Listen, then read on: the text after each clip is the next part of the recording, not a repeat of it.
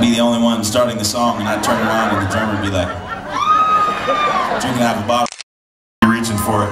Yeah, and so you know we we, we love the music so much, and, and we're do it as much justice as we can and make it as consistent as we possibly can, and by not being you know out of our normal realm when we play and perform. So I don't know if any of y'all who's seen us play a full show, who's seen us play live before. Well, I hope you get a chance to come see us with our full band and, and see. We'll be back here in uh, June or July. Right. So, so we'll be back and, uh, you know, we're co with Chesney at the stadium.